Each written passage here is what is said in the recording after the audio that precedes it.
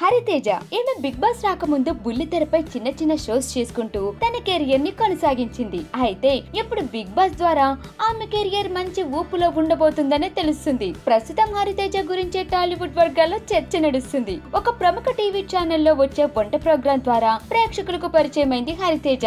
ఆ తర్వాత ఆ ప్రోగ్రామ్కి బై చెప్పేసి సినిమాల్లో చిన్న చిన్న పాత్రలు చేసింది. త్రివిక్రమ్ డైరెక్షన్లో వచ్చిన ఆ ఆ సినిమాలో మంచి రోల్ చేసి అందరిని ఆకట్టుకుంది. ఇక ఆ తర్వాత ఈమెకు మంచి మంచి సినిమాల్లో ఆఫర్స్ వచ్చాయి. ఇప్పటి వరకు స్లోగా నడిచిన ఆమె కెరియర్ బిగ్ బాస్ షోతో ఒక్కసారిగా మలుపు తిరగబోతుందనే చెప్పాలి. ఇక ఆమెలోని ప్రతి టాలెంట్ని బయట పెట్టడానికి ఈ షో వేదిక అయిపోయింది ఇక ఆమె నటనా వ్యక్తంతో తెలుగు ప్రేక్షకుల మనసు గెలుచుకుంది. ఇక ఈ షోకి హోస్ట్గా వ్యవహరిస్తున్న ఎన్టీఆర్ కూడా హరితేజకి బిగ్ ఫ్యాన్ అయిపోయాడు. అందుకే బిగ్ బాస్ షో ముగిసిన తర్వాత ఎవరు విన్నర్ అయినప్పటికీ ఫలితంతో సంబంధం లేకుండా తన ప్రతి సినిమాలో హరితేజకి ఒక రోల్ తప్పకుండా ఇవ్వటానికి ఎన్టీఆర్ రెడీగా ఉన్నట్లు తెలుస్తుంది. అంతేకాకుండా తనకి తెలిసిన డైరెక్టర్ల సినిమాల్లోనూ హరితేజకి సరిపోయే పాత్ర ఉంటే ఇవ్వమని స్వయంగా అడుగునున్నట్లు తెలిసింది. ఎన్టీఆర్ లాంటి స్టార్ హీరో అనుకుంటే అవకాశాలు కొరవా చెప్పండి. ఇక బిగ్ బాస్ తర్వాత హరితేజ లైఫ్ పూర్తిగా మారిపోనుందన్నమాట.